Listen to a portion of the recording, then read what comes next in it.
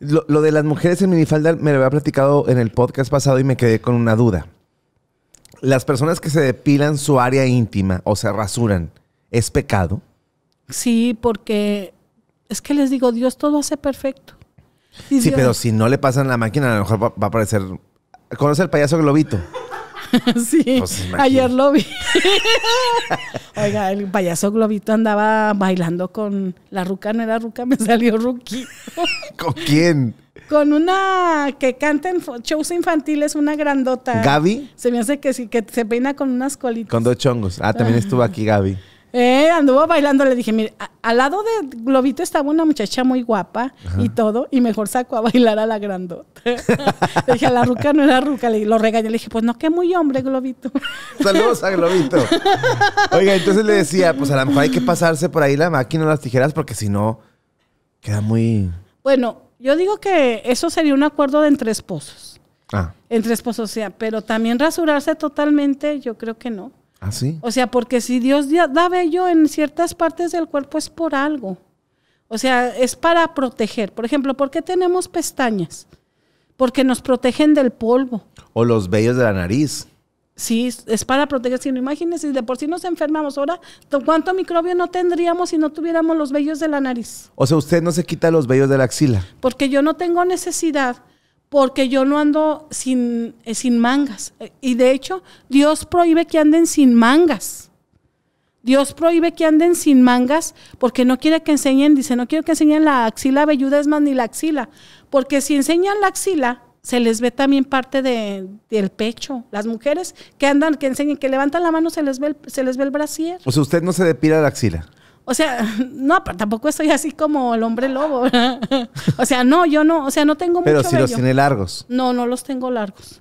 Ah, ¿cómo? Yo, yo soy albina. Ay, no. No, lampiña. Lampiña. Yo también, mire. Yo casi no tengo vellos. No, o sea, no, no, tampoco soy tan, al- tan lampiña, pero sí. O sea, pero sí, usted no se pasa el rastrillo por la axila. Yo me llegué a, ra- a rasurar una vez las piernas y Dios prohíbe que las mujeres y los hombres se rasuren las piernas. ¿Por qué se las rasuran? Para provocar sensualidad. Espéreme, yo soy lampiño y no tengo vellos en las piernas, mire. Y no me lo rasura, así estoy. Pues no vaya a usar short porque le van a chiflar. O sea, pero según yo, ¿es más atractivo o no tener vellos? Usted dígame. En los hombres Ajá. sí. O sea, prefiere vellos. Los hombres, fíjese, yo una vez fui a, a una obra de teatro muy famosa. ¿Puedo decir el nombre? Sí. no? La Lagunilla, mi barrio. Ah, ¿cómo no? Entonces, pues salió Maribel Guardia tan bonita con su cuerpo y sus piernas. Y luego salió un actor que ya es grande, uno de bigotillo que no- de Televisa. ¿Quién? Pues no sé, es un galán de telenovela ya grande. Ok. Pero él va al gimnasio y que se pone chor, unas piernas de gimnasio, pero así, y con vello. Y le dije, y todos chiflándole, le dije, ya ve, usted llamó más la atención con su chor que misma Maribel Guardia.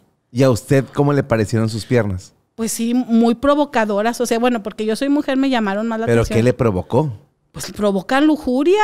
Porque, oiga, tenemos vista, por eso tenemos que cuidar. Por eso Dios no quiere que andemos tanto en la calle. Porque en la calle, ¿qué hay? Hay puro exhibicionismo. Si vamos a salir a la calle es para un fin. Para trabajar, para comprar algo, para llevar algo. Pero si ma- nada más vamos a andar de ojo, como dicen, ojo pispireto, viendo aquí, viendo allá. ¿Cuántos hombres no pasan en, en camisa entallada? En pantalón entallado. ¿Cuántas mujeres andan como si estuvieran promocionando su ropa interior? Entonces, puro pecado y puro deseo, porque dijo Jesús, no solo el que se mete con un casado, una casada comete adulterio, sino el que mira con deseo a una mujer ya cometió adulterio en su corazón. Pero esas mujeres son las que lo provocan también.